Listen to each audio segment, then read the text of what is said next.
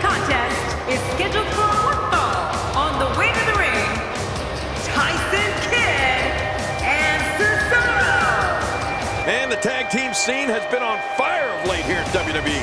And I think we're about to see another hot one. There's popular, then there's this guy. I mean, he takes popularity to a whole new level.